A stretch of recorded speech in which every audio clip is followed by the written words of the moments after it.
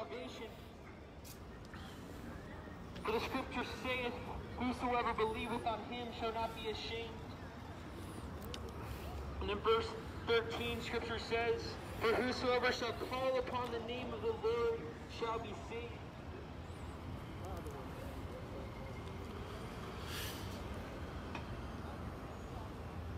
And also in verse 17 of Romans chapter 10, scripture says, So then faith cometh by hearing, and hearing by the word of God.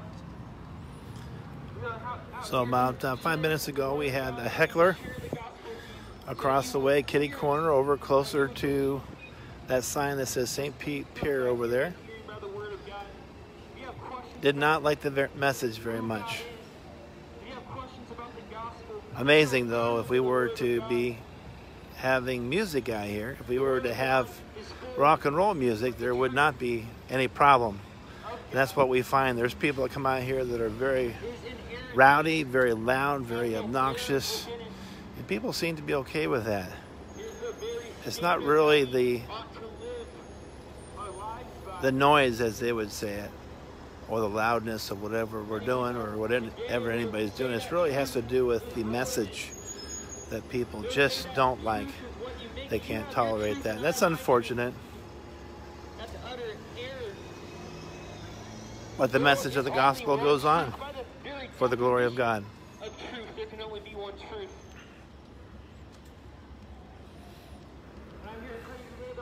Source of truth that we have is the Word of God, the Bible. Amen. So, again, tonight, this is a special sp- streaming that we're doing Facebook Live in addition to the audio and video recording that you can see in the camera there, we have found a product that gives us a better quality video and audio, but we have to record on that. So what we're going to do is take this video later and post it later to the EO Ministries webpage as well as the evangelismoutreach.com website. Hopefully we'll have that either posted tonight or tomorrow. So for now, we have this live streaming for the ministry. I want to let you know that we're out here ministering the gospel. If you would find yourself to pray for us, we greatly appreciate it. We're having a good night tonight. Been a lot of people out here for a Wednesday night. For Wednesday night, there's lots and lots of people out here. It was even busier a little bit earlier, maybe half an hour ago. This really is a happening place and we're very thankful to be in such a position to be able to minister the gospel in the city of St. Petersburg, all for the glory of God. How can a man be born when he is old? Can he enter the second time into his mother's womb and be born? Jesus answered, Verily, verily, I say unto thee, except a man be born of water and of the Spirit, he cannot enter into the kingdom of God. I'm still greatly amazed at the simplicity of the gospel of the Lord Jesus Christ. We don't have to use crafty, fancy words. We simply are faithful in preaching the simple truth of the gospel of the Lord Jesus Christ, and that's enough. No matter how much we share this, it never gets old. Never gets old preaching and teaching about the cross of our Lord Jesus Christ confessing who Jesus was. One of the benefits of doing this as well is it reaffirms for ourselves the message of the gospel and what we believe and why we believe it. Saying, Rabbi, we know that thou art a teacher come from God, for no man can do these miracles that thou doest except God be with him. We find that he confesses that Jesus is the Son of God. He is ordained by God. there's Micah and Latimer over there. Mike's passing out tracts and interacting with people one on one. And Latimer is doing a sign evangelism. He's also our Spanish interpreter. Very interesting. We have a very small ministry compared to so many other ministries, but we have a very tight knit team that works very well together. So Latimer is in charge of the Spanish ministry. And when Spanish speaking people come up, he's the one that's designated to minister to them. We're very thankful for Latimer and for Mike and Andrew and for Tyler over there. He's our Tyler is our event coordinator. A lot goes into every ministry night. Every time we go out and do something, whether it's street preaching or going to the abortion clinic or going to special events and conferences. He's the one that coordinates everything, gets everything together, and gets all the hotel reservations going, and makes sure that we have enough food and water to eat and drink. And he's the one that plans the trips and makes sure that we're have everything in order. That's a very, very important function. We're very thankful for the work of, of Tyler. We see that Jesus continues to explain this to Nicodemus.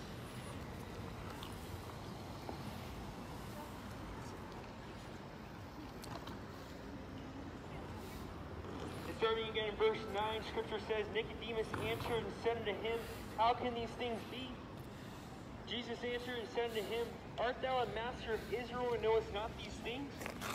Verily, verily, I say unto thee, ye sp- we speak that we do know, and testify that we have seen, and ye receive not our witness.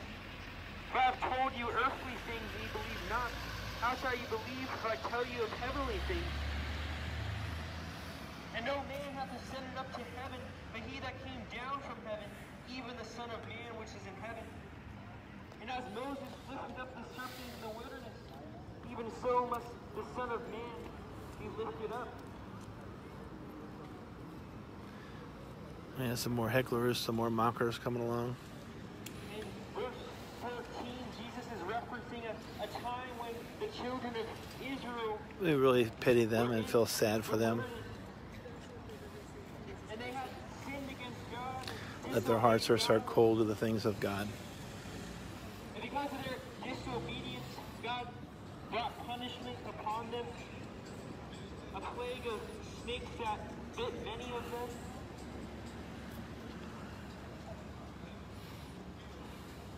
And out of desperation, the children of Israel cried out to God to save them from this plague of venomous snakes.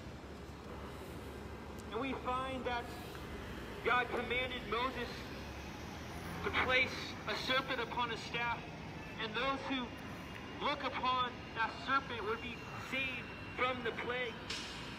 And that's what Moses did. And all who looked upon that staff were saved from the plague. And that is a picture of what Jesus Christ came to do, when Jesus, Je- when Jesus says in verse 14, and as Moses lifted up the serpent into the wilderness, even so must the Son of Man be lifted up. He was referring to his crucifixion, what he would come to do. Just as the children of Israel looked upon the staff and were saved from the plague to come, so when Jesus Christ was, was crucified on the cross, those who looked, looked to him in complete surrender and complete faith and repentance can be saved from the plague of their sin. That whosoever believeth in him should not perish but have eternal life. For God so loved the world that he gave his only begotten Son, that whosoever believeth in him should not perish but have everlasting life. For God sent not his Son into the world to condemn the world, but the world through him might be saved. He that believeth on him is not condemned, but he that believeth not is condemned already, because he hath not believed in the name of the only begotten Son of God. And this is the condemnation that light is come into the world, and men love darkness rather than light because their deeds were evil. For every one that doth evil hateth the light, neither cometh to the light, lest his deeds should be reproved. He that doth truth cometh to the light, that his deeds may be made manifest, that they are wrought in God.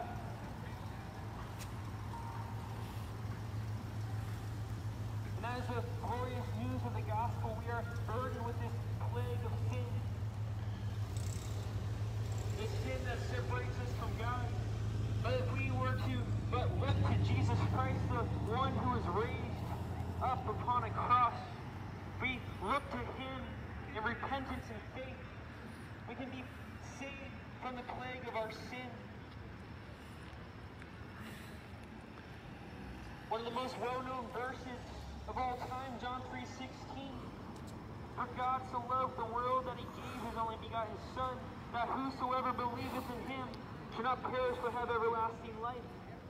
Out of God's great love for mankind, people of every nation, tribe, tongue, race, and ethnicity.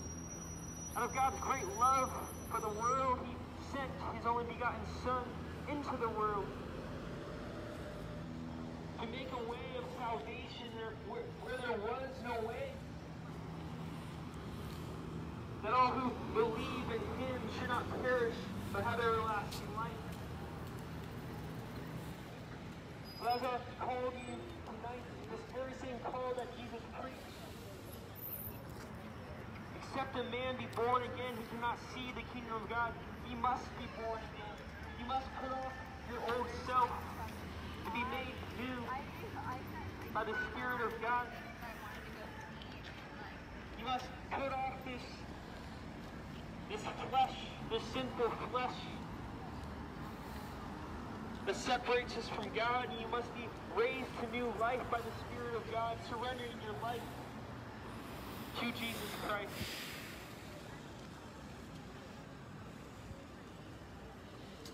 So I call you tonight is repent for the kingdom of God is at hand. Believe on the Lord Jesus Christ, and thou shalt be saved. That is how we receive this forgiveness that Jesus Christ offers through his death, burial, and resurrection. Today is the day of salvation. Believe on the Lord Jesus Christ, and thou shalt be saved. Amen. So that was Andrew. He was just he's just gotten done sharing the gospel of the Lord Jesus Christ. Now Mike is going to get up there and start preaching. And after him, Lord willing, I'll be preaching as well. It's interesting to see the different kinds of people that are out here on the streets. When we come out, there's all sorts of different kind of people. We just had a lesbian couple that walked by arm in arm. Actually, one of them looked like she might have been stoned. They're actually walking down the street now. There's lots of sort, sorts of different people, but we love everybody the same. The message is true and sure and steadfast. Whether we're preaching the gospel to the lesbians or homosexuals or fornicators or adulterers or thieves or liars or drunkards, extortioners, the message is the same, calling men to repentance and faith in the Lord Jesus Christ so glad that regeneration precedes faith. This is not just a reformed doctrine of the faith, but that is clearly what Scripture teaches that salvation is of the Lord from start to finish. And we know that who Jesus saves is who Jesus keeps. There is the doctrine of election. There is the everlasting covenant that is unchanging, unwavering, God's word is immutable. We know that his word is true and never returns void. And in that, we're so thankful. If a person wants to know whether they're truly saved, if a person really wants to know if they have eternal security, just look to Jesus and live. You know, who he calls, he, he saves. He's chosen, foreordained, he's called, he's justified and glorifying those who are in Christ Jesus. What a glorious truth of the gospel.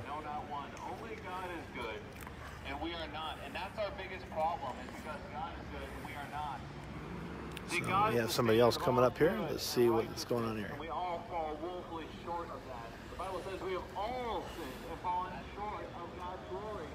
God's perfect standard, we go to the exact opposite might think that we're good people when we judge ourselves according As Mike's talking about a little bit, he's talking about whether a person is good or not out here.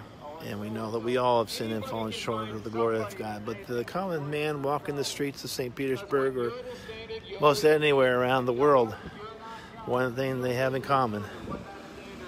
Most everybody thinks that they are relatively a good person. When you examine yourself against the righteousness of Christ, person who is called of God knows that their righteousness is as filthy rags. They have nothing to offer God but their sin.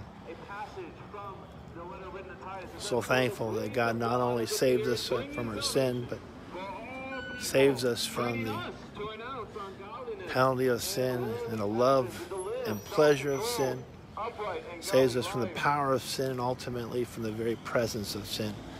What a glorious reality it is for those who are in Christ Jesus that one day we will no longer have to struggle with this flesh and the sins that so easily beset us. What a joy it is to know that there is victory in Jesus Christ, the Lord. Again, this is a live streaming video on EO Ministries on Facebook. But this is a supplement to the main video there. You see in the camera there. We're actually recording on a new audio device and video device. The picture quality and audio quality is much better. We're hoping to improve on that. We're not really tech savvy people, but we're looking to make as many improvements as we can as the time goes on.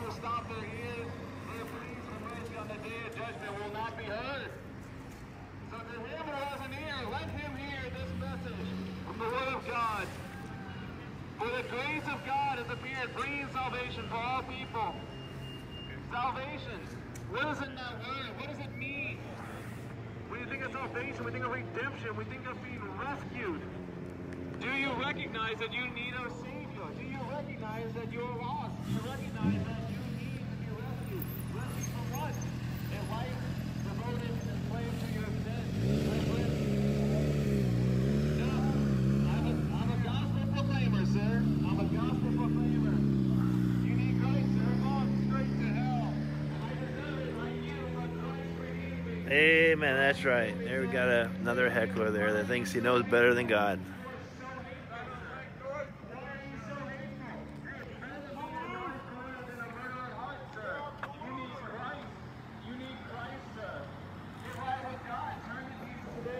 That's right. My friends, I'll tell you what, salvation, the grace of God brings salvation.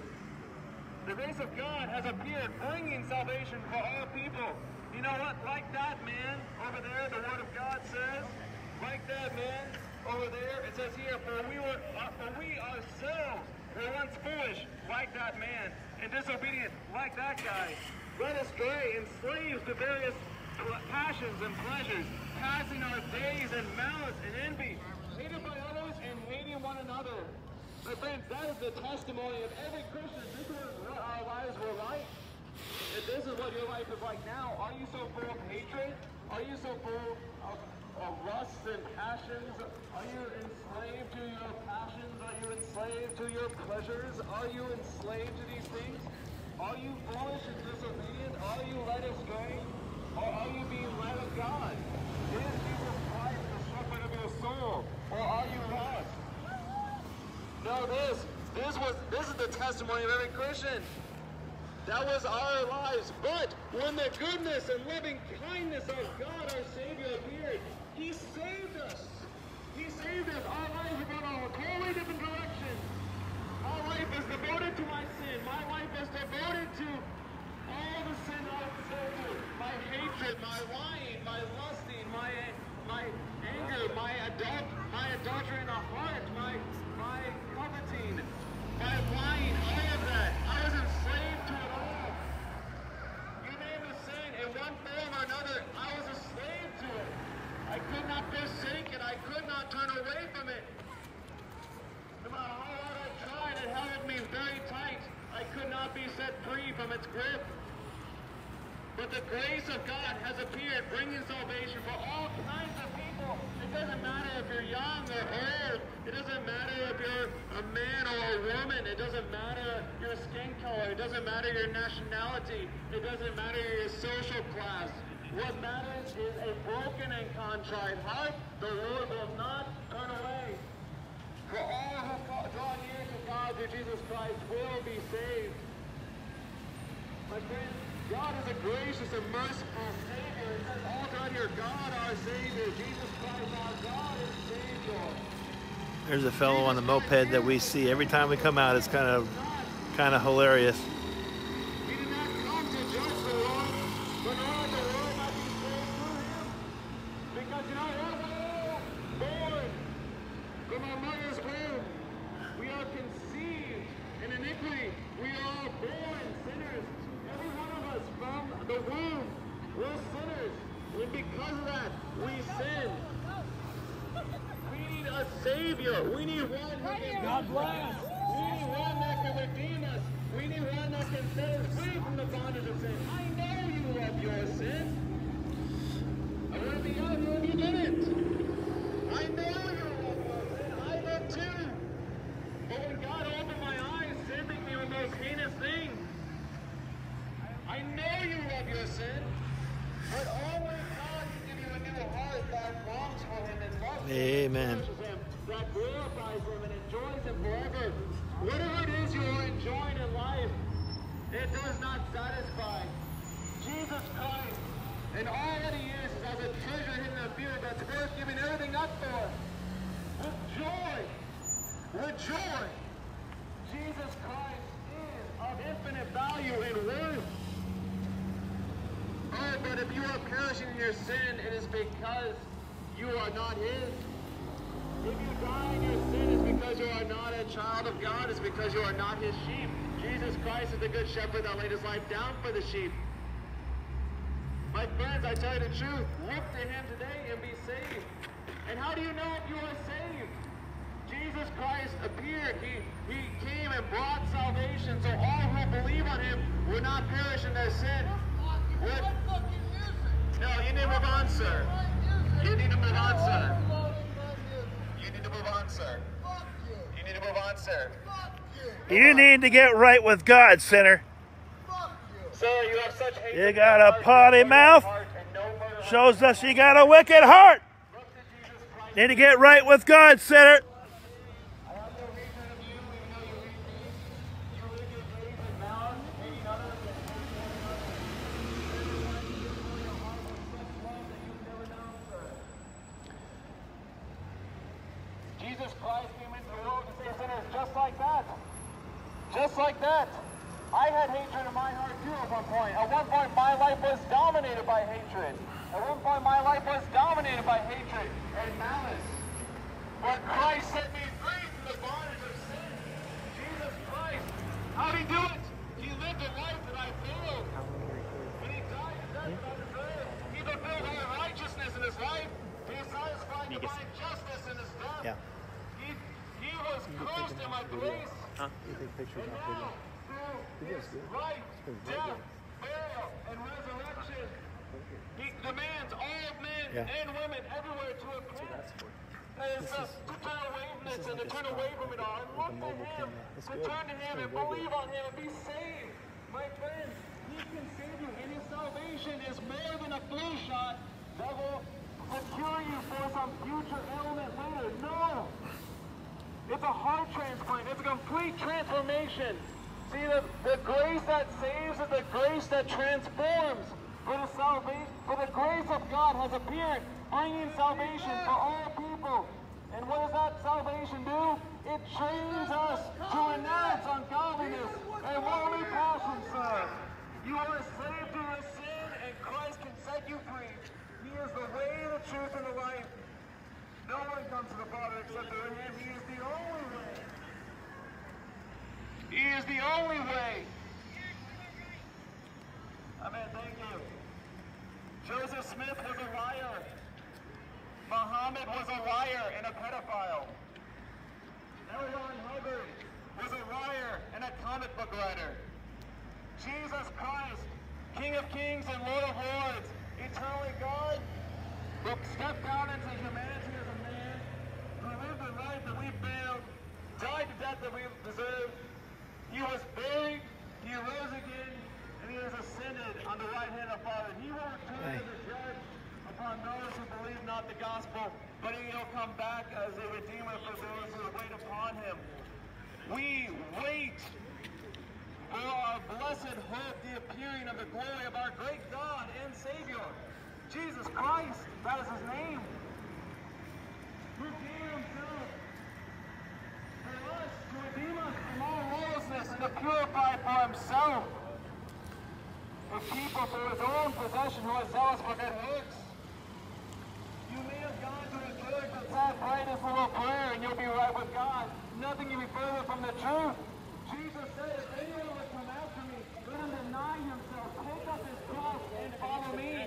He says, unless you love me more than father, more than mother, more than brother or sister, wife, or your children, or yes, even your own life, he says, you cannot be my disciple. You can't come after me. He says, in another passage, he says, unless you hate, by comparison, unless you hate your father and mother and brother and sister, yes, your life, your wife, everything, unless you forsake it all, unless you renounce it all, you can't even have any part in him. We're called to love God primarily and everyone else and ourselves if there's anything left. The two greatest commandments are to love the Lord your God with all your heart, with all your soul, with all your mind, with all your strength, and to love your neighbor as you love yourself. These are the two greatest commandments. The entire commandment, all the Ten Commandments, and all the other commandments, they all hang on that. Love. Love, my friends. Those are the two greatest commandments. They're bound up in love, not hatred.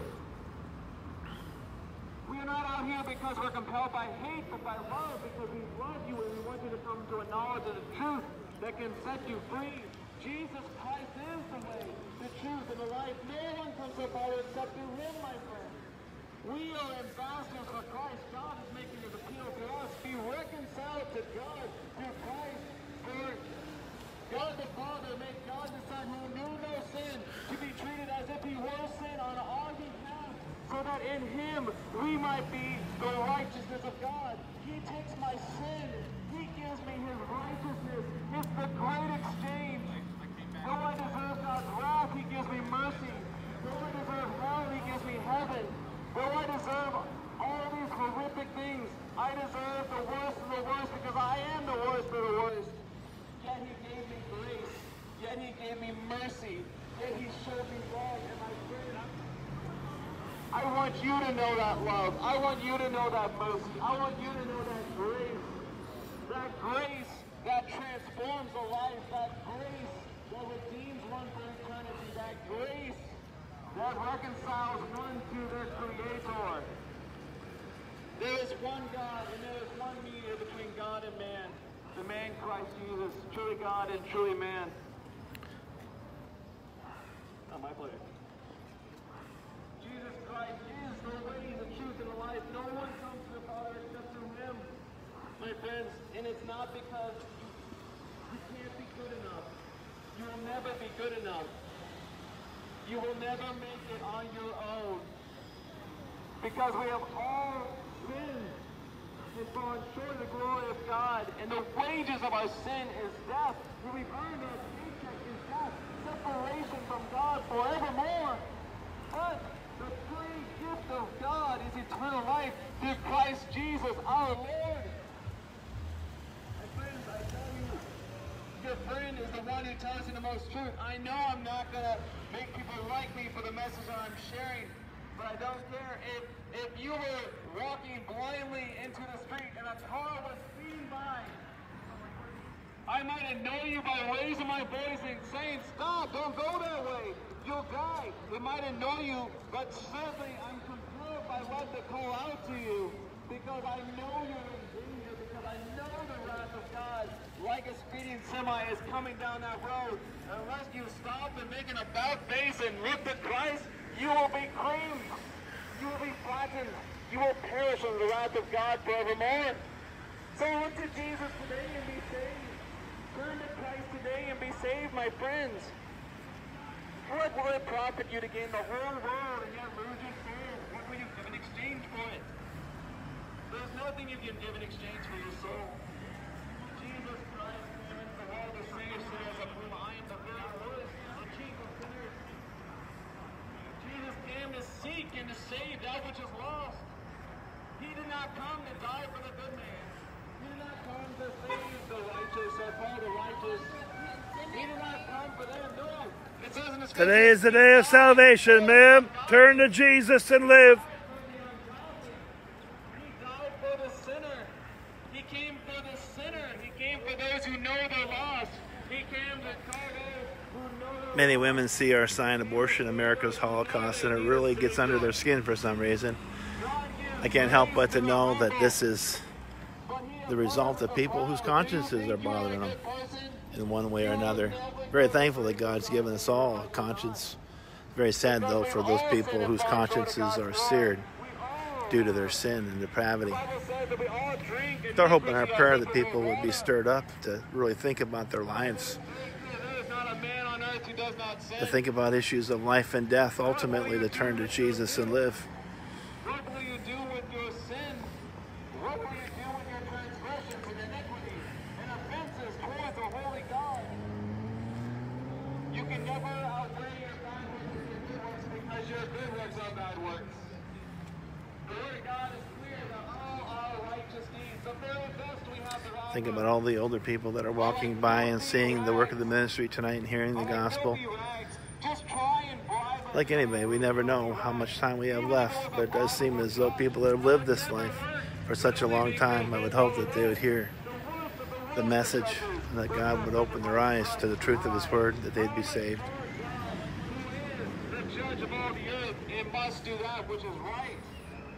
It's amazing to see how many people turn away tracks. It's not just tracks, it's the message of the gospel that we're trying to share with people. A lot of people that don't have any time for the message of the gospel, they have time for everything else but the Lord. It's our hope and prayer that even if there's one person out here tonight that hears the truth, that God would change their life forever. It's also our hope and prayer that if there's any saints out here, any people that truly know the Lord, we hope that they would be inspired, and encouraged, Are children of God, or children stirred up to get out and share the gospel themselves.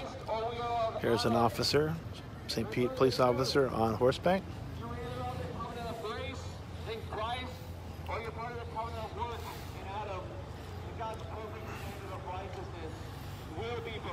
hoping that people tonight would know that Jesus Christ is Lord.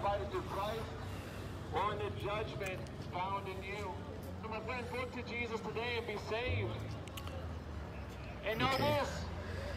All right, so we have to an officer in the car. We have an officer on horseback.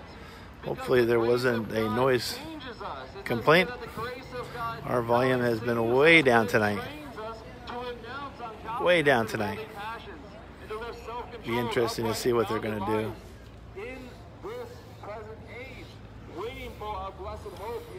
of our great, of the glory of our great God and Savior, Jesus Christ. Christ, you shall name him Jesus, for he will save his people from their sins. My friends, I tell you the truth, he came into the world to save people not just from hell, but from their sins. If he does not save you from from your sins, he will not save you from hell either. It's a full package deal. His salvation is a full package deal. He saves the whole man. He saves the whole woman. He transforms a person's heart from stone to flesh, from death to life. For by grace are you saved through faith, and none of that is from you. It's all of God, lest any man should boast. For we are his workmanship, created in Christ Jesus. For good works which he prepared beforehand that we would walk in them. My friends, this is the goodness of the gospel. That though your life has been Looks like we're drawing the attention of the police. We had a, rescue sinners like you for a time, we were actually were Jesus said the truth will doing really well and didn't have any problems with them. Now all of a sudden, it just seems as though we're having more and more Call upon the name of the Lord, you shall be saved. times in which they're coming out on calls. This is the goodness of the gospel. And it's amazing. We're not out here doing anything. We're not getting in trouble. We're not doing anything bad. We're not Doing anything- other than what we're called to do. This is a religious exercise according to the city ordinance, and it's a joy to be faithful to the Lord. We're hoping that we'll be all right, but we'll we'll see what happens. We'll see what happens. It looks like they're keeping an eye on us. Let's see what happens here. Another officer coming. Depart from me, you workers of iniquity. I never knew you. Do you know Jesus? And more importantly, does he know you? If you know Jesus, you hear the voice of Christ, the Word of God, and you respond by following him. It really is amazing how some of the community will tolerate raucous heavy metal music on the street corner that's often out here. And yet, when it's the message of the gospel, they got an issue, they got a problem. It's really not the noise level, it's the message. And that is so true. Nothing will stop the message. We've been commissioned by the Lord Jesus Christ to proclaim the good news of the gospel of Jesus Christ the Lord. And that's exactly what we're going to do. With God's help and for His glory. I want you to know that life. I want you to know Christ, who can make all the difference in your life, who can make the difference in your eternity. My friends, we love and care enough about you to tell you the truth. We love and care about you enough to warn you to flee from the wrath of God to come.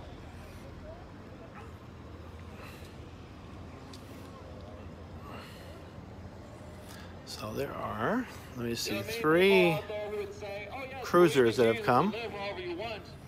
Three cruisers have come and one on horseback so far. What shall we say then? Are we to continue in sin that grace may abound? By no means. How can we who have died to sin still live in it? Do you not know that all of us who have been baptized into Christ Jesus were baptized into his death? We were buried, therefore, with him in baptism into death, in order that just as Christ was raised from the dead by the glory of the Father, we too might walk in newness of life. Do you know this new life? Do you know this death? Do you know this resurrection of the soul that occurs when one is united with of Christ Jesus. in his life, death, and resurrection? If you claim to be a Christian today, if you claim to be a Christian today, and yet your life has not been changed, and yet you have not changed course, and yet he himself is not the chief affection, you are not a Christian. Jesus said, You will know them by their fruit. Is the fruit of your life love, joy, peace, patience, kindness, goodness, faithfulness, and self-control? Are you bearing fruit in keeping with repentance? Do you have the fruit of faith? Do you have the fruit of peace? Do you have the fruit of holiness in your life? My friends, I tell you the truth, there are many people who have lots of leaves of religion, lots of leaves of morality, but it does not come from a heart made new. Examine yourself today. If your conscience has been awakened to the of God, if your conscience has been awakened to God's wrath and the dread of it, then plead to Christ, who is the Savior of the world.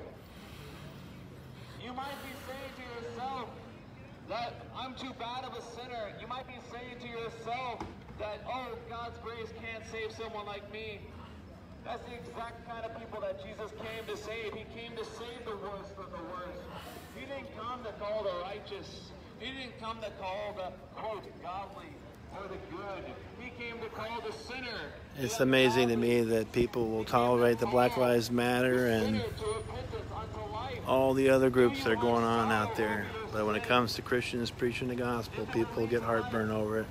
You must repent and believe on the Lord Jesus Christ. You shall That really does astonish me, but it shows how far America has fallen. Very sad.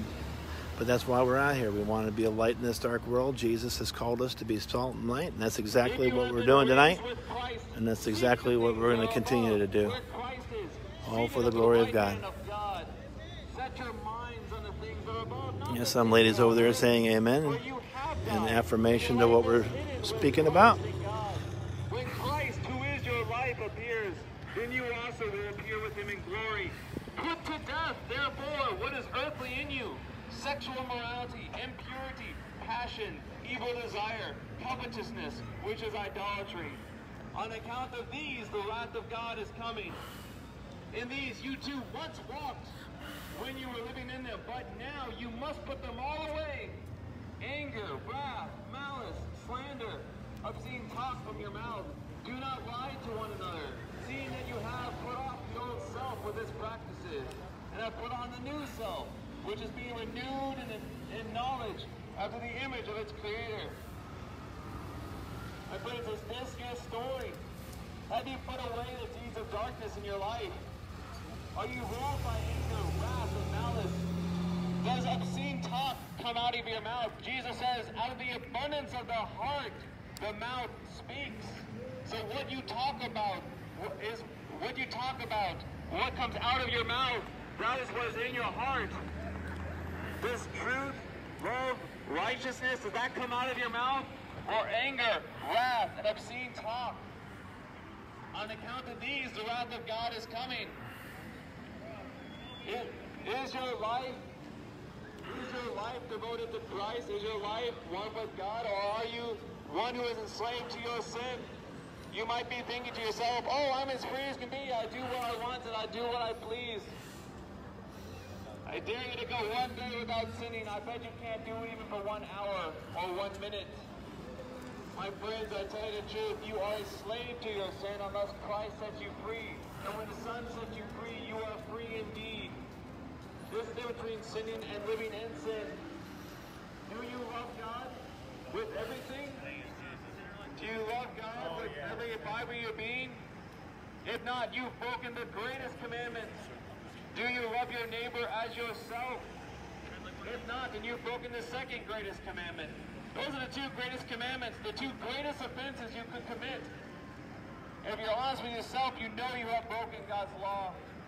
And his law will not be spurned. It will call all records into account. And for those who believe on the Lord Jesus, his final words on the cross are for you. Paid in full, tetelestai, it is finished. This is the good news of the gospel, my friends, that he takes our, our our bill of debt and he nails it on the cross, never to be seen again. He takes it to the grave, never to be seen again. He rises from the grave, and our debt, our sin, is never to be seen again. He takes our sin, our iniquity, our debt before God, and casts it as it were into the sea, never to be seen again. This is the good news of the gospel. This is the good news. What? Yes. All right. So the guy comes along and says, Are you reading out of the Bible? Are you reading out of the Bible? And Mike says, Yes. He said, Okay, good. Even our thoughts and intentions, God sees it all. It lies naked before his eyes. There is nothing you can hide from him. What you what you're thinking, what you say in the dark, what, the, what you do in the dark, God sees it all, and he keeps record of it all. Should count iniquity, who should stand? We all fall, condemned under the law. But only Christ can raise us up. Only Christ who was victorious. Only Christ who was victorious over the grave, who fulfilled the law in his life and satisfied his death. Only he, as the perfect mediator and great high priest, can make us right with God. So look to him today and be saved, my friends. Look to Christ today and be saved.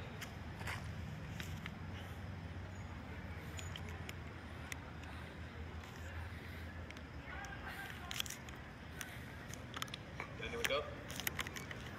Hmm? Good. Yeah. You want to hold this? I'm not gonna hold it. You need to. Cops are here. We have the other video. What time is it? Uh, 750. 7.50? Okay. You need somebody. Listen, don't give me the business. I can hold it if you want. Or... Yes. You want to hold it? Uh, sure.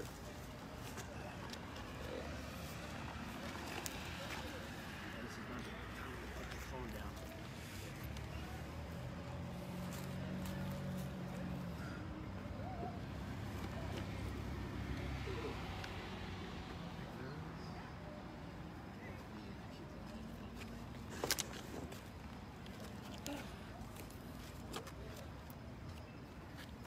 What is that? Oh, that's the that's the This little panel.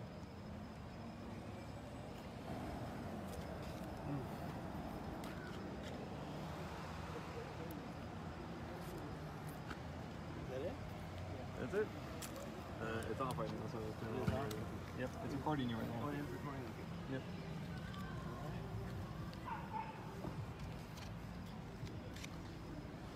Where's that other?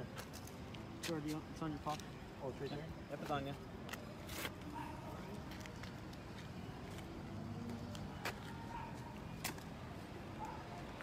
Uh.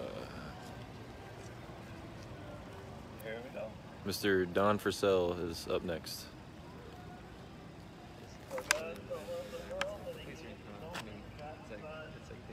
that whosoever believeth in him should not perish, but have everlasting life. I'm holding in my hands here tonight the very word of God, the B-I-B-L-E. Yes, that's the book for me. I stand alone on the word of God. The B-I-B-L-E. The Bible, the word of God, is the good book. It's the good book. This is the word of the King of Kings and the Lord of our Lords. And it's high time that we as Americans get back to what works. It's time that we as Americans pick up the Bible and begin reading again for ourselves like we never have before. You see, the America today is suffering greatly. America today is suffering greatly. It is the direct result of a nation, of a people who have turned their back on God, who have turned their back on His Word, who have forsaken the God of all creation. There was a time when this nation stood for what is right and rejected what is wrong. There was a time when America believed the Word of God. There was a time when people wanted to uphold the Word of God and live by every word of God. But what happened? What happened along the way over the course of many years? People have turned their eyes and their ears away from the God of all creation, and we're suffering for it. America today is worse than it's ever been before. We're decadent. We're of people that have embraced postmodernism, the belief that there is no absolute truth. How wrong we are to think that there's no absolute truth. We know there's absolute truth. It's the Word of God. It's high time that we pick up the Word of God and start believing it again. There is truth, and we know that Jesus says that the way, the truth, and the life. He is the very essence of truth. He is truth itself. In fact, He is the light of the world. The light that shined in darkness, and the darkness comprehended it not. You see, the natural man does not receive the things of God. The natural man looks at the things of God as being foolish. But see, there was a time in American history where people did love the things of God. By and large, there were wicked people. There's always been wicked people. We all have a sin nature. We've all broken the law of God. We've all messed up. We've all stepped in it. But there was a time when even in that state, there was common decency in America and in some places around the world, I should say. There was a time when Americans believed in biblical marriage as an example. They knew the, the difference between a man and a woman. They knew what biblical marriage was and they embraced it. They knew that that was the proper way to live. They knew that as a result of a man and woman coming together in holy matrimony, that they would come together as husband and wife. And the result of that relationship was that they would bring forth children. Now, people in America don't want to get married anymore. They would rather live in fornication in, a, in direct violation to the Word of God. They don't want to have commitment. They don't want to have responsibility. They don't want to obey the Lord. Americans today don't want to embrace the covenant of marriage because they want to have it their own way. They don't believe in absolute truth. They don't believe that there's an absolute standard in which we are to live. I'm here to tell you tonight there is a standard. It's the Word of God.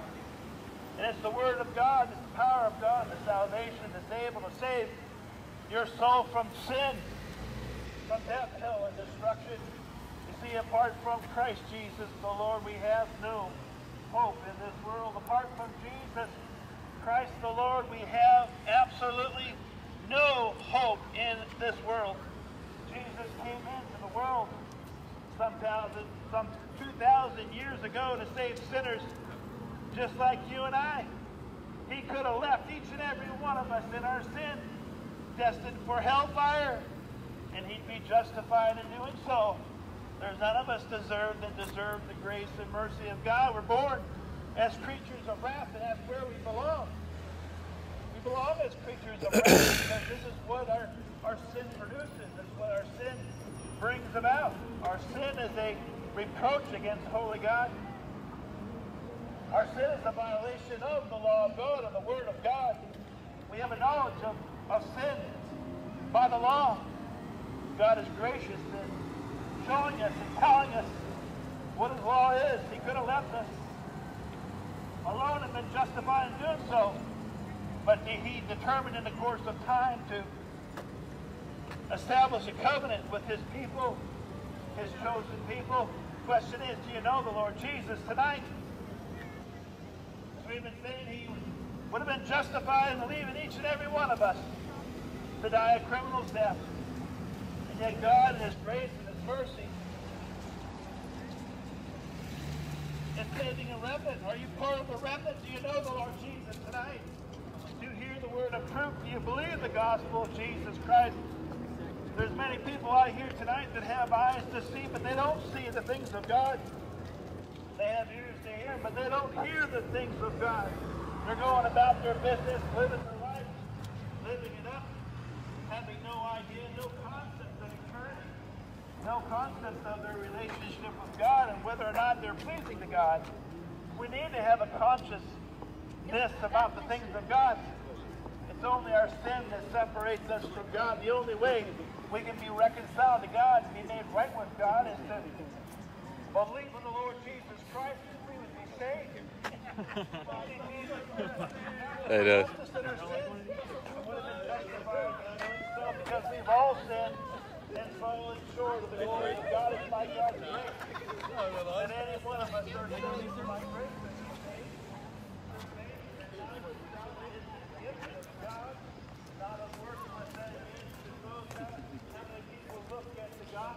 What's up? How many people look at the cross of Jesus as a gift? as a gift given to men.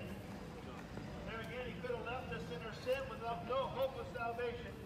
He would have been just in doing so because we all have sinned and fallen short of the glory of God. And the punishment for our sin, according to God's word, is death. That's quite plain and simple. Is death. That is the punishment for our sin, according to the law of God, which says that the wages of sin is death, but the gift of God is eternal life through Jesus Christ the Lord. There's a twofold reality in that. You see that the wages, what we earn as a result of our sin is death. That's something that we deserve because of we are lawbreakers. We're born with a sin nature that defies God, that rebels against God, that hates the things of God. The natural man does not understand or know the things that be of God. It's only when God comes and commands his light to shine through the darkness that a man's able to see the Lord for the first time and cry out to him in the faith that comes from Christ. It's not our faith that saves us, it's the faith of Christ. It's important to know that. It's the faith of Christ. It's the faith of Christ. Regeneration precedes faith. Every person that comes to faith in Christ Jesus, the Lord, is a miracle of Almighty God. Many people in the world today don't believe in miracles. But let me tell you, every time a person, a hell-bound, hell-deserving sinner, comes to faith in Jesus Christ, that is a miracle of God. Jesus says he must be born again. He must be born again. That is not a maybe, that is a reality if you are going to enter into the kingdom of heaven there's coming a day when God is going to judge the world in righteousness by that man which he hath ordained. That man is none other than Jesus Christ the Lord. On the last day, the books are going to be opened, and God's going to judge you according to his word. according to your works. Where will you stand on Judgment Day when the books are open? Where will you stand for, before God and give an account for yourself? What will you say to God who you have offended? What will be your plea when you are in the courtroom of God standing at trial and your life is examined? I'll tell you, my friends, the best thing to do is to settle your case outside of court. I don't know if anybody's been to court before. We have. And one of the things that's always good is to try to settle your case outside of court if you can. Now, in this case, when we're talking about this case that is brought against the sinner, just like you and I, the only way for us to settle our case that God has against us in court, you must be born again. That's the only way. That's the terms. See, we as Americans don't like to be told what to do a whole lot. We like to have it our own way, just like the Burger King model. We don't want to have anybody coming along and telling us what to do. But it's not just anybody that's telling us that you must be born again. It's the Lord Jesus himself who is God. When you read the Bible, you find out that Jesus is God. Jesus reveals his deity all throughout Scripture. When you, when you see the life of Jesus, this miracle working Savior, Jesus means Savior. When you see the miracle working work of the Lord Jesus Christ, you know that He's revealing to, to us who He is. He's showing hmm. us clearly that, that He is the Son of God, the Son of Man, the Word that was made flesh who dwelt among us, and we beheld his glory, the glorious love, the only begotten of the Father, full of grace and truth. When we see Jesus, we see the Son of God, we see the King of all kings, and the Lord of all lords. Jesus himself has received a kingdom. He's received the kingdom. You see, it is amazing that King Jesus was anointed for the work of the ministry at his baptism. He went out from the baptism. He lived a sinless life, a spotless life for our righteousness. That's right. It's amazing what happened on the Oh, cross. of hey, I have to go to the bathroom. Okay. How many people You're welcome. really know what Jesus did on the cross of Calvary? Many of us know a, a few little facts about the cross. Many of us know that the Roman cross was the, the most cruel of intentions. It was a cross that was very cruel, very wicked. It was very painful. It was something that was very barbaric. It was developed by the Romans and even before that the Phoenicians. It was a very cruel punishment that was meant to inflict as much pain as possible. When we think about the cross Jesus Christ the Lord and the, the pain and the suffering that he endured on the cross, you get a picture of how God looks at our sin. That's right, when you think about the, the crown of thorns that was placed on Jesus, when you think about the whips that scourged him on his back, when you think about every droplet of a spit that was spit on him, when every slap to the face and slap to the body, and he was punched, ridiculed, he was mocked. Ultimately, even on the cross, there was a sword that pierced his side, and blood and water poured out. When you look at what Jesus did, what Jesus endured, you get a glimpse of how God looks at our sin. That's right, this is the punishment of sin. He didn't have any sin of himself. The Lord Jesus didn't have any sin of himself. He's sinless. He's a sinless, spotless Lamb of God. In fact, under the law of God, we learn that just not any sacrifice would do. When we look at the sacrificial system under the Old Covenant, we see the sacrificial system that was established under the law for the nation of Israel, a peculiar people, a chosen generation, a nation that was chosen by God Himself. We see this sacrificial system that foreshadows the ultimate sacrifice on the cross. And that sacrifice is Jesus Christ, the Lord. He is the sacrifice. He is the Lamb of God that taketh away the sin of the world. When we examine the law of God, we find out that not just any sacrifice would do. you can't give God your leftovers. Many of us would think that we would just give God the leftovers, give God the spotted calf, God the leftovers, the cast that are not doing very well, that are polluted.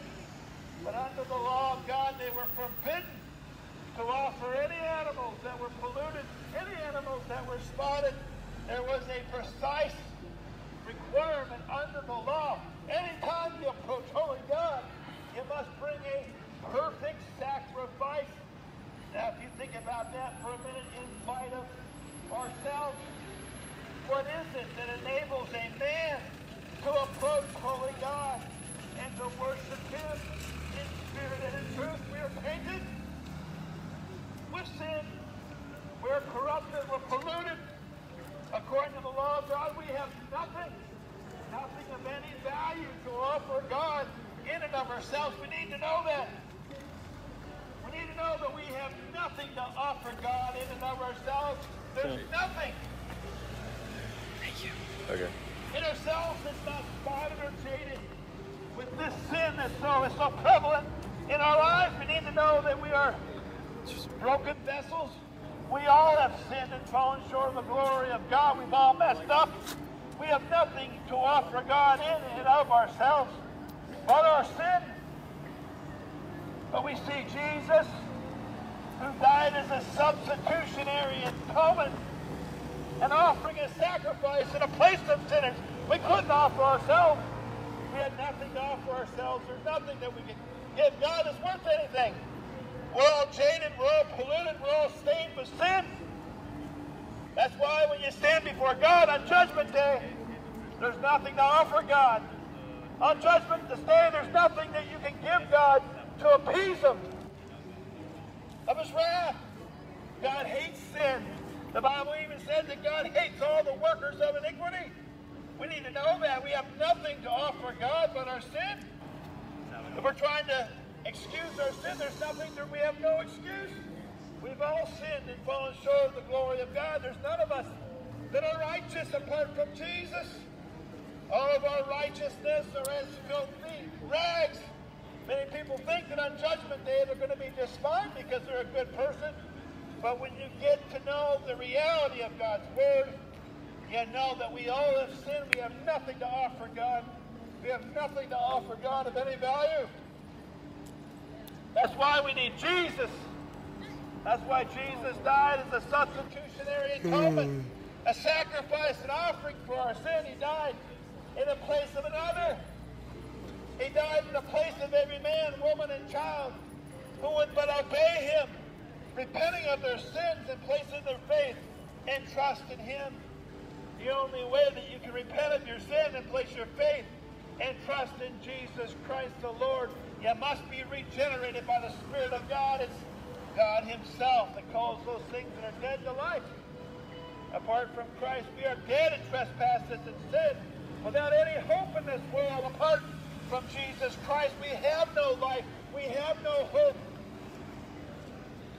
We are as dead bones that are laying in the desert without no hope of salvation, no hope of life, no hope of a drink of water or anything to eat. Or... Apart from Christ, there are men, those miserable. We need Jesus. We need a Savior. If you're out in the open water, you know that you're lost at sea. What's the first thing you look for? Many people look for life raft. They look for a Savior. They look for somebody to come along to save them and to get them out of this predicament that they find themselves in. There's many instances in life where we get into trouble. We get, perhaps we're out to sea and we can't get back to shore. Or maybe we're at the beach and we get caught up into a current. There's many things that happen in life where people are lost at sea and lost in space and lost all over the world. What's the first thing that people want? They want a Savior. They want a deliverer. They want somebody to help them, to rescue them, to be a hero. Let me tell you something. That somebody is Jesus. Jesus. You know, a lot of people, even the nation of Israel, looked at Jesus. They were looking for a conquering king that would come and destroy their enemies. And they didn't recognize Jesus when he came. He was meek and lowly, humble. He was unlike any other king that they ever known before. And yet we see that Jesus came to fulfill the will of God. the Father. There was a plan, the everlasting covenant, worked out in the Godhead before the foundation of the earth. God knew exactly what was going to happen in this world. There was a purpose, there was a plan. He knew from the very beginning who it is that would accept him and who it is that would reject him.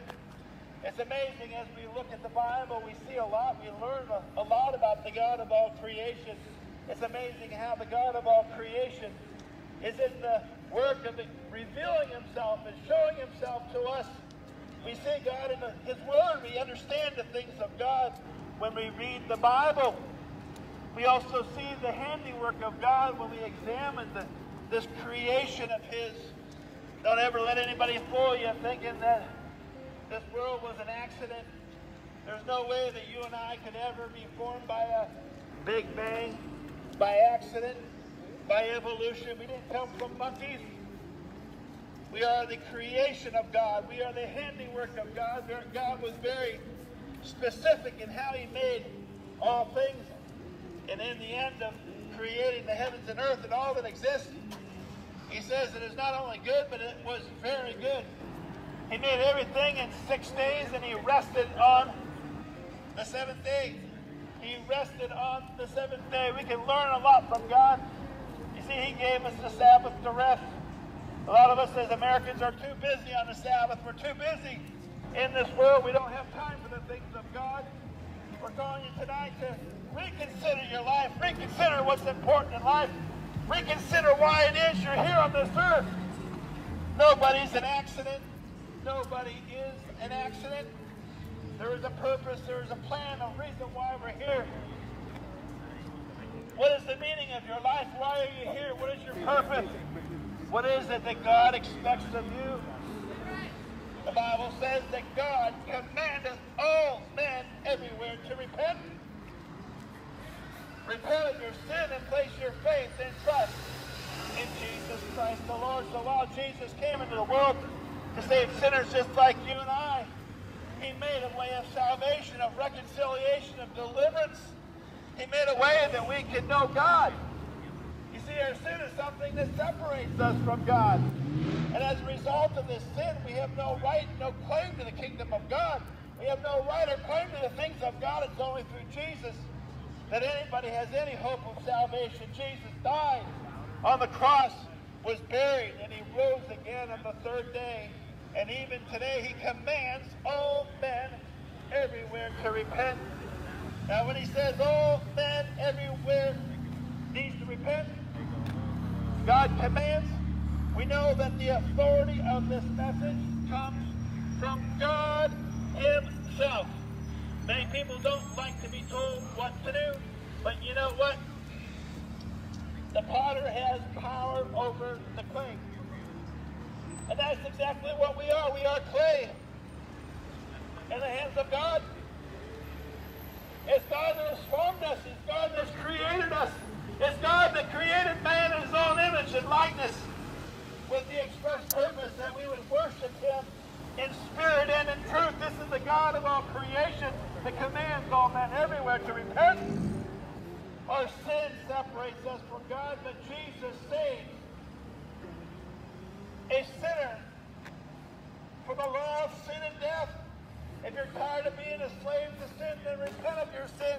Cry out to Jesus. He's the only Savior. He's the only deliverer. deliverer. He's the only mediator between God and man. There is no other. All the other religions of this world are vain. They have nothing to offer you. Jesus saves. Jesus is alive. His every word is true. Get to know the God of the Bible. Get to know the God of the Bible. It's God himself that commands. He has the authority as the potter over the clay. He has the authority to determine and to define who we are. Now, many people in America today have a problem understanding that a man is a man and a woman is a woman. Somehow there is some gender confusion but know this, that gender confusion does not come from God. God is not confused. God is not confused. God knows exactly what he's done and why. God knows exactly why he made man in his own image and likeness. God knows exactly why he created man and woman to come together in holy matrimony as husband and wife and to bring forth children. God knows exactly what the definition of marriage is and of family. We as Americans are living in a time when postmodernism tries to define what a man is and what a woman is and what marriage is. But know this, no matter what the government has to say, God's word is true. God's word is true. We know what a man is. We know what a woman is. God's word tells us who a man is and who a woman is. And it's high time that we stop listening to the wicked counsel of this word, world. The Bible says, Blessed is the man that walketh not in the counsel of the ungodly, nor standeth in the way of sinners, nor sitteth in the seat of the scornful. But his delight is in the law of the Lord, and in his law does he meditate day and night. Think about this for a minute. We've listened to all the wrong people. We listen to all the wrong people as Americans. We've listened to the Oprah Winfrey's of the world. We listen to the Bill Gates of the world. We've listened to the Donald Trumps of the world. We listen to all the wrong people. It's high time that we humble ourselves and cry out to Jesus, who is the Savior of the world. It's time that we stop listening to the wicked and start picking up the Word of God and reading it for ourselves and find out what God expects of you and what God expects of me. Today is the day of salvation. Believe in the Lord Jesus Christ, thou shalt be saved.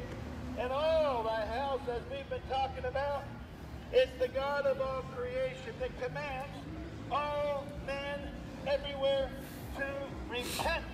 And that is without exception. That is without exception.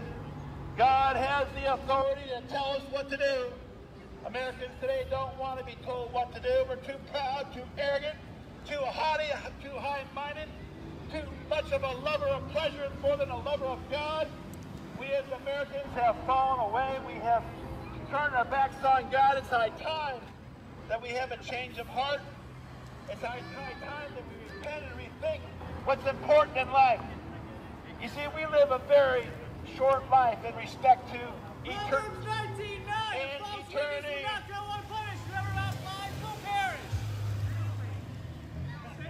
Uh, Turn to Jesus and live, sinner. You must be born again. You must be born again. Turn to Jesus and live, sinner. That's right. You must be born again. You might reject the message. That makes no difference. You'll stand before God in judgment and give an account for every sin. Done in word, thought, in deed. Judgment day is coming. Where will you stand when the books are open? You better start thinking about these matters. Life is very short.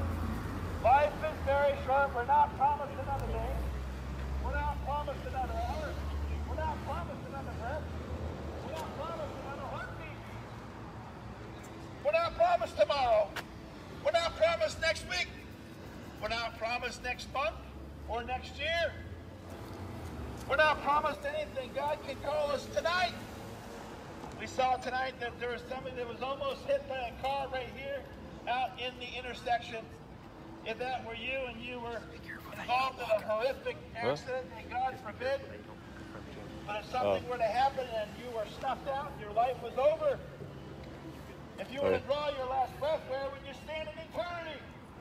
I think about the law enforcement officer in Pinellas County, the first law enforcement officer that I'm aware of that was ever cut down in the line of duty in Pinellas County with the sheriff's office. You know, he didn't. He went to work. He didn't know that that was going to be his last day. None of us do. You think about Tiger Woods and how Tiger Woods was involved in that horrific accident. He broke his legs in several places and his, his feet and his ankles. That could have been his life.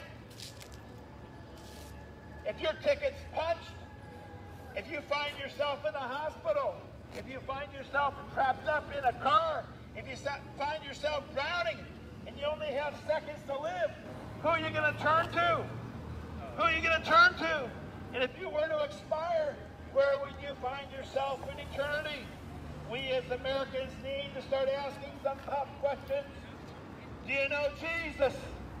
Do you know Jesus? And does Jesus know you? So many people, folks, have a knowledge of God. They have a head knowledge of the things of God, but they don't really know Jesus. They don't really know God. They have an idea of who God is, but they don't really know Him. The only way that you can know God is to be His children, to be His child. And the only way to be His child, you must be born again. That's the reality, folks. Postmodernism today in America tells us a lie, tells us that everything's going to work out in the end. Don't worry about it. Postmodernism today tells us that everybody's a child of God. That is a lie that's down in America today. Let me tell you something. You're not a child of God just because you're out here and you have air in your lungs. We're sinners in the hands of an angry God. We need a Savior. Know this, you're not a child of God because you have air in your lungs. You're not a child of God because you're an American. You live in the United States of America. You're not a child of God because you think you're a child of God. Do you know Jesus? The only way to be a blood-bought child of God, you must be born again. This is the work of God in regeneration. If God is drawing you tonight, if you hear the word of truth and you believe the gospel, then don't put off till tomorrow what you can do tonight. Cry out to Jesus. Cry out to Jesus. Cry out to Jesus. Cry out to Jesus. Cry out to Jesus. Cry out to Him tonight. If you don't understand the things of God, cry out to Jesus. If you don't, if you don't, you don't know for sure if you were to die tonight, whether you'd be in the arms of Jesus in the glory of heaven, then cry out to Jesus. Cry out to Him tonight and help, ask Him to help you to understand. If you don't believe the gospel, ask Jesus to help you understand. Ask Him to help your unbelief. Ask Him to help you to understand the things that you don't understand. There's many of us that, that see through a glass darkly. There's many things in life that we don't understand. The question is, do you know Jesus? And does Jesus know you? Have you been born again? Jesus says you must be born again. And thou shalt confess with thy mouth the Lord Jesus, and shalt believe in thine heart that God hath raised him from the dead, thou shalt be saved. For with the heart man believeth unto righteousness, and with the mouth confession is made unto salvation. Do we believe the word of God? Do you believe the word of God to the point of obeying God, to stepping out in faith? And you look at all the examples in the word of God where Jesus he healed the people that were sick, especially like the blind. You okay over there? When you see that Jesus healing the blind, you see a picture of what happens when a person comes to faith in Christ. You see many people that are blind know that they have a need of a Savior. They're humble. They're humble beggars. They're poor in spirit. They know that they need a Savior. They know that there's no hope in the world but Jesus. If you're blind tonight and don't know Jesus, and you can't see Him, cry out to Him. He's the only one that can open your eyes. He's the only one that can open your ears. He's the only one that can open your understanding to know the things that, that be of God. Don't turn your eyes and your ears, your life away from God. If you hear the truth, take action tonight.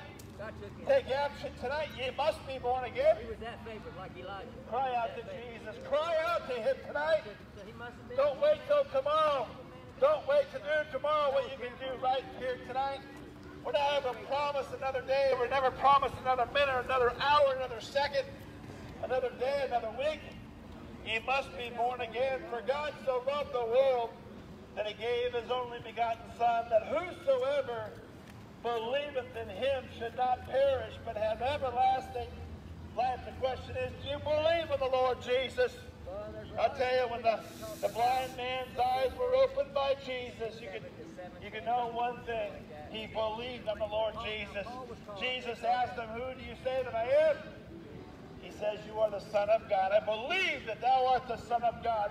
That only happens when God opens our eyes. When God opens our eyes for regeneration, that precedes faith. When God opens our eyes, He enables us to see.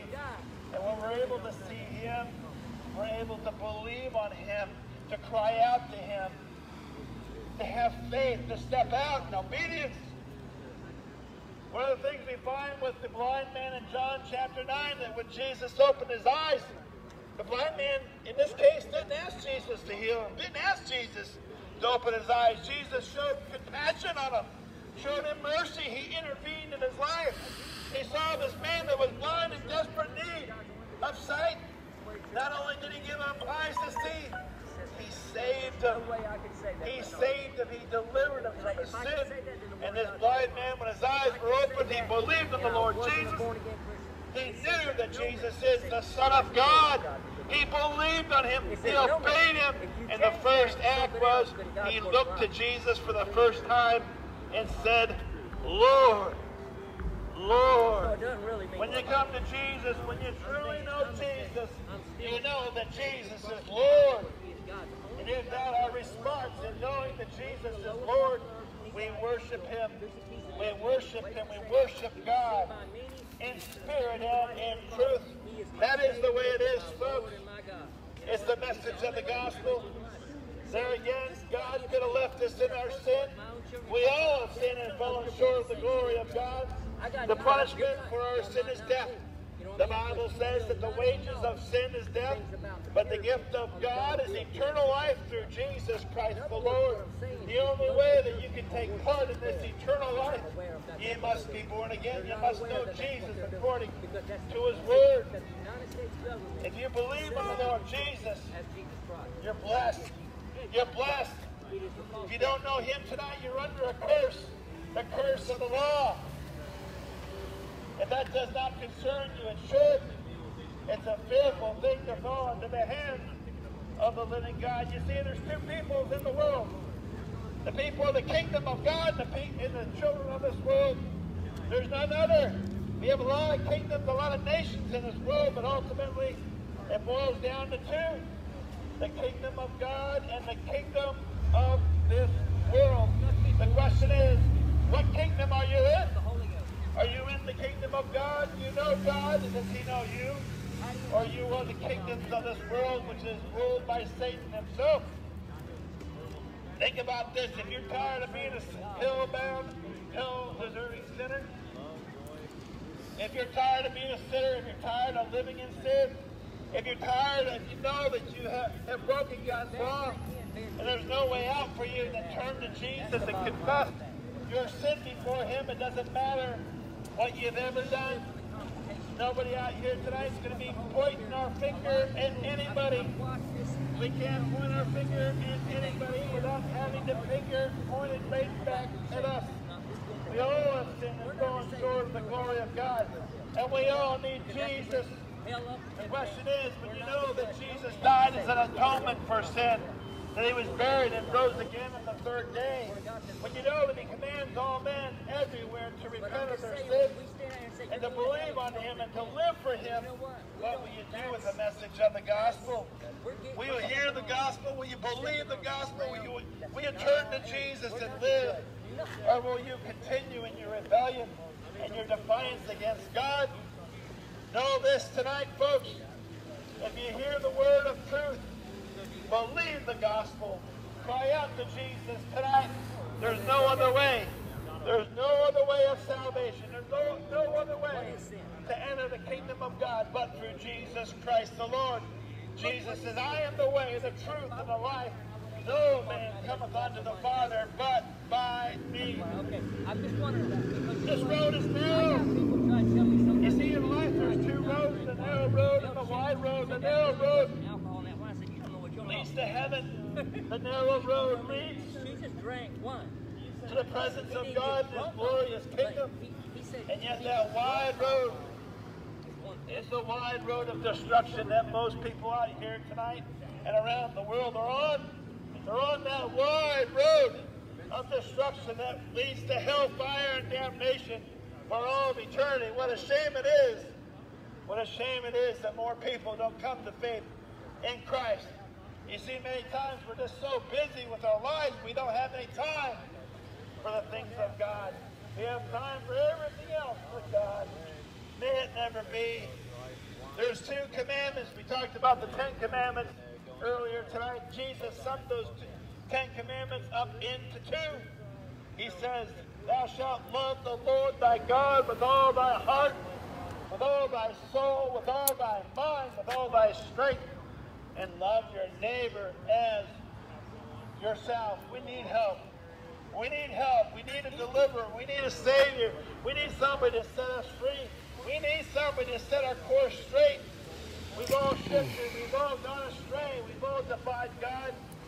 The only way out, the only way for this broken vessel, this broken soul, to be made right, be put back together according to the will of God, you must be a new man in Christ. When a man is biblically born again, the Bible says, if any man be born in Christ, I he is a new creation. Old things are passed away. Behold, all things are become new. You know, there's a lot of people in America that they say, you know, I really like what you have to say, but I'm not going to go to church. I'm not going to follow Jesus. And I until I start cleaning myself up. You know, I'm smoking too much and I just can't. I, I want to stop smoking before I come to faith in Christ. I, I'm just drinking too much. I don't want to come to faith in Christ until I get a handle on that and I stop drinking or fornicating or lying or stealing or whatever it might be. he said, don't come here and feed my flock. Know this, that there's no way that you can ever clean yourself up. That's a trap. That's a snare of the devil. There's no, many people that say they'll never give their life to Jesus until they clean themselves up first. because I wouldn't go to church. no way that you clean yourself up apart from Christ. You need the power of the Holy Ghost. neighborhood said, if You need the you, I'd go to sanctifying work of the Holy Ghost in your life. I'll come to church. You need the blood of Jesus applied to your heart. You need to be clothed in righteousness and to be a temple of the Holy Spirit. God, we want to In order for your life to change, in order for things to be You know what? I made right. Spirit upon that man and touched him. It's really with amazing when you think about the gospel, when you think about what Jesus does to a, a lost sinner. said, "There's some people I can tell You think about what Jesus does to that lost sinner. He not only saved "Everybody him, but he forgives like. And his sin and his iniquity is never remembered anymore. When, when Jesus died and he was buried, no cave. If you know Jesus, your sins were buried in that grave. With Jesus, never to be seen again, never to be brought up again, never to be recounted again. When Jesus forgives you of your sin, you're cleansed from your sin, never to be brought up again. We don't have to be ashamed any longer when we're in the presence of the Lord, when we know Jesus according to His Word, when we're biblically born again, we don't have to be ashamed. Yes, it can. The only reason why any man is ashamed is because they're a sinner that needs Jesus. This world is lost in sin. This world is dark. This world has gone astray. The only way back is Jesus. The only way to the presence of God is Jesus. The only way to have your sins forgiven is through Jesus Christ the Lord. There's nobody in this world that you can confess your sin to and find true forgiveness of sin. That's found only in Jesus. Stuff and the pastor stopped. He's the only one. He's the Savior of the world. He's the only one that can cleanse you of your sin, forgive you of your sin, and cleanse you from all unrighteousness. He's the only one. He's the only one. No priest, no pope, no pastor will do. Only Jesus. Only Jesus. what I'm talking about. Only Jesus. Gave me a really good Only Jesus. Get to know the God of the Bible. Cry out to Him tonight. When Jesus saves a soul from sin, it's forever. It's forever. If you ain't Get to know the God of the Bible. You must be born again. was told by the Baptist church And thou shalt confess the with thy mouth the Lord Jesus, they didn't like and shalt believe in thine heart that God has raised him from the dead. Thou shalt be saved. For with the heart man then she got right believeth there. You unto for God so loved the world that he gave his only begotten Son, that whosoever believeth in him should not perish, but have everlasting life. And I, you know what? I have a rightful, a righteous anger about what I'm talking about, brother. You know what I'm saying? You, you got a closed mind. You're not hearing what I'm saying. You already got your mind made up of what is going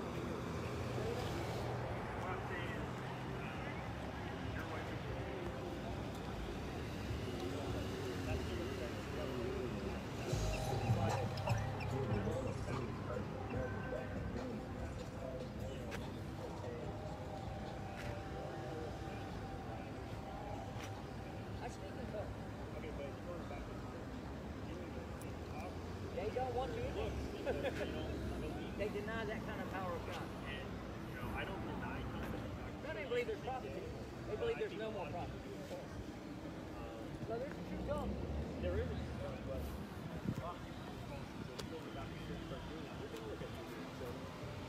I didn't do that. I didn't speak in tongues. Do you want me you know to what? just go ahead she and finish talking, it? it was, or close uh, it up? If you would, let me give you this. Then you can say something, and I'll say something, and we'll close it out. Okay. Is that all right? Uh, sure. All right prayed a little oh, cloud over that man's head. And I spoke, I said, Lord, tell him. Or do you want to close it out? The Lord Almighty says, Thou shalt not commit adultery. As soon as I thought that in my mind, I know he's seen it because that's when Sunday school class blew up. She said, She said, She said, some people I would tell not even talking about because they all heard it. In the spirit of the they heard it. And I was like, I'm not in the case y'all aren't going to seal me in the spirit. Do you want to close it up? No, you can close it off. Yeah. Just relocate them. spirit can turn into me any gift that he wants to be. It's not that I control it, but if he wants, if I'm yielded to the Holy Ghost, if, if I am yielded to the Holy Ghost, the Holy Ghost can speak so in tongues. The Holy, Ghost, uh, the Holy Ghost can a, prophesy. Uh, the Holy, God, the Holy Ghost can do, give signs of healing. He can do every gift if he chooses to use me. Recording. You know, it's like, we want to do all things for the glory of God. We've had an exceptional night tonight. We have had a lot of hecklers, a lot of people that have come against us.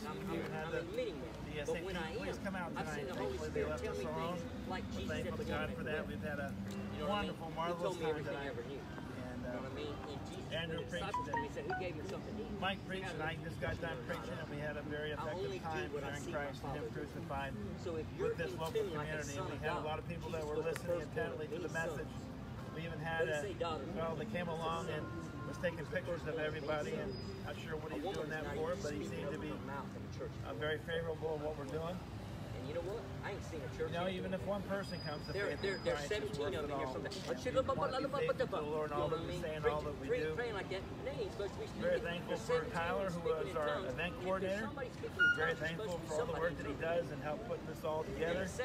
Um, he's like our tech guy. He's like the guy that coordinates everything. and with any ministry, you need to have somebody that's devoted to that, and we're very thankful for him and his labor. He's the one that each time we get get up and get ready to go, he's the one that gets us moving. Sometimes we don't, we're not real motivated. Sometimes we get tired and wore out, and he's the one that kind of kicks us a little bit, stirs us up, gets us motivated. We'll get a text from him and say, "Hey, who's going street preaching tonight?" He's the one that coordinates that makes sure we have all the water and that everything's set up when we go on trips. He's the one that, that uh, coordinates our hotel reservations and makes sure that we have everything that we need. He's very effective in what he does. And we're very thankful for every member of this fellowship of saints with evangelism outreach ministry. But there's a reason, you know, when you go to church and you see a woman preaching it's very important.